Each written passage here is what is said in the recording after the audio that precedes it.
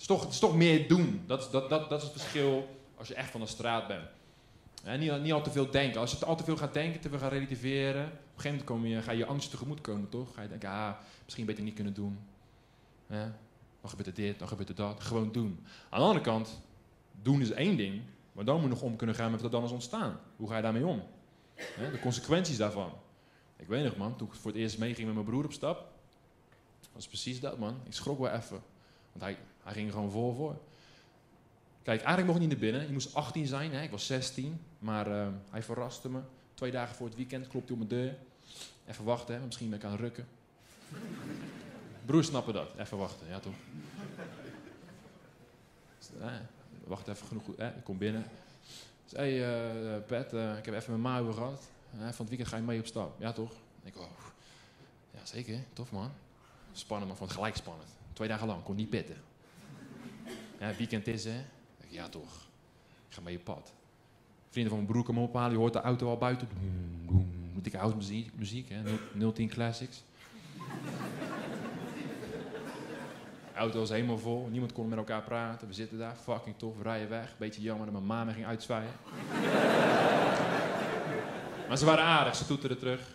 We komen aan hè, bij de club, heel, heel druk, heel hectische sfeer ook buiten. Lange rijen, we waren de gastlijst, ik kon één keer doorlopen. Moet gelijk gegroet door de uitsmijten. hey Pet, ben je een broertje van Tom? Ja toch, ik heb over je joh. Hè? Veel plezier man, veel plezier. Eenmaal binnen, alleen maar maten van mijn broer naar me toe komen. hey, eh, ben je een broertje van Tom? Ja toch, weer een bakootje of niet? Hè? Een bako? Volop bako. Alleen maar aan het suipen daar zo. Allemaal mooie meiden naar me toe komen. Kwam nooit naar me toe, hele mooie meiden. hey, ben je een broertje van Tom? Ja toch? Ik een vingeren. Huh? Nee.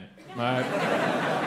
Op een gegeven moment, ik moest pissen man. Ik moest naar de wc. Dus ik zeg tegen mijn broer, eet... eh, maar ik- was alleen maar aan het suipen daar. En ehm, ik moet even naar de wc, man. Dus mijn broer zegt, eh, is goed man, kom. Ik loop met je mee. Twee verdiepingen naar beneden toe. Laag plafond, soort keldertje. Klein rijtje voor de wc. Ik sluit achteraan aan. Mijn broer staat naast me, een beetje de boel in gaten houden. En eh kopen, verkopen. Uit een handeltje.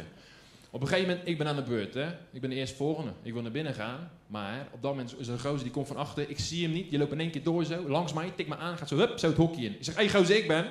Maar gaat, hij negeert me. Ik zeg, nou ja, eh, dat wacht ik toch. ja, wat moet ik dan doen wat ik wil? Maar mijn broer hoorde dat, die hoorde de commotie. Hij draait om en zegt, eh, wat is er? Zeg, ah joh, niks joh, eh, gozer, ging voor. Het eerste wat mijn broer zei, zei oké, welk hokje zit die? Ik denk, welk hokje zit die? Ik denk, wat ga jij doen met die informatie dan? Weet je wel? Ik voer dan alles, volgens mij moet ik dit gewoon laten gaan. Maar ja, ik was ook wel benieuwd waar het heen ging, ja toch?